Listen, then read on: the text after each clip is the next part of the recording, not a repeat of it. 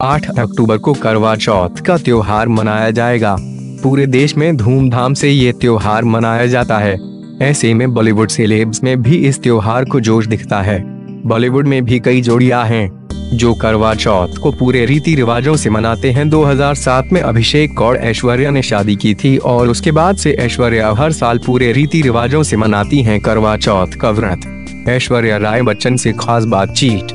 सुना है आपके पहले करवा चौथ पर अभिषेक ने भी आपके साथ व्रत रखा था? हाँ अभी का कहना है कि जब मैं उसके लिए भूखी रह सकती हूँ तो वो मेरे लिए भूखा क्यों नहीं रह सकता? लिहाजा अभी ने पहला करवा चौथ का व्रत रखा था। लेकिन बाद में मैंने ही उनको मना किया व्रत रखने के लिए। क्योंकि वो परेशान हो, ये मुझे पसंद नहीं। ऐश्वर्या, क्या आप इस साल भी पूरे रीति रिवाजों के साथ करवा चौथ मनाएँगे? बेशक मैं हर साल पूरे रीति रिवाजों से करवा चौथ का व्रत मनाती हूँ और इस साल भी मनाऊँगी, क्योंकि ये व्रत पति की लंबी आयु के लिए रखा जाता है और मैं अपने पति से बेहद प्यार करती हूँ, इसलिए मरते दम तक करवा चौथ का व्रत रीति रिवाजों से मनाऊँगी। कहते हैं कि पति पत्नी का रिश्ता सात जन्म का होता है तो क्या आप हर जन्म में आप अभिषेक को अपने पति के रूप में चाहेंगी? हाँ अगर सच में सात जन्म वाला कॉन्सेप्ट होता है तो मैं हर जन्म में सिर्फ़ अभिषेक को ही अपनी पति के रूप में चाहूँगी। जितना प्यार अभिषेक ने मुझे दिया है, उतना प्यार तो मैंने खुद को नहीं किया कभी। करवा चौथ पर आप सबसे स्पेशल क्या करना पसंद करती हैं? मुझे करवा चौथ पर सज धस कर चाँद को देख कर पूजा करना बहुत पसंद है। इसके लिए पूरा दिन तो क्या पूरा हफ़्ता व्रत रख सकती हूँ?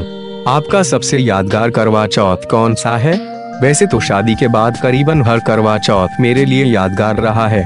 लेकिन पिछले साल जब मैं रणबीर के साथ दिल है मुश्किल की शूटिंग लंदन में कर रही थी, उसी वक्त करवा चौथ का व्रत पड़ा था। उस वक्त मैंने वहाँ पर करवा चौथ का व्रत रखा था तो अभी ने लंदन आकर मेरा व्रत तोड़वाया था और मेरे लिए बहुत अच्छे गिफ्ट भी लाए थे।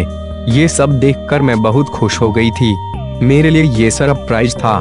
क्या आप अपनी सास के मुताबिक ही करवा चौथ के व्रत की पूजा करती हैं? हाँ मेरी सासू माँ हर साल मुझे सरगी देती हैं। यहाँ तक कि जब मैं लंदन में थी, तब भी मेरे लिए माँ सरगी लेकर आई थी। अगर किसी करवा चौथ पर मैं शूट पर नहीं होती तो मैं और सासू माँ साथ ही में व्रत का पूजन करते हैं।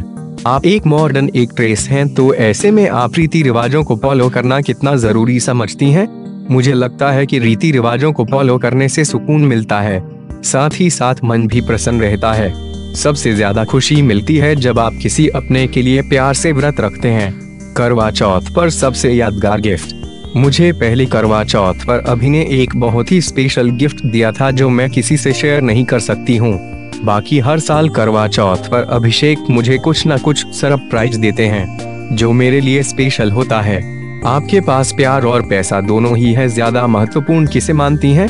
प्यार मेरे लिए ज़्यादा ज़रूरी है क्योंकि आप पैसे से प्यार नहीं खरीद सकते हैं। मेरा मानना है कि जिसके पास प्यार होता है, वो खुश नसीब होता है।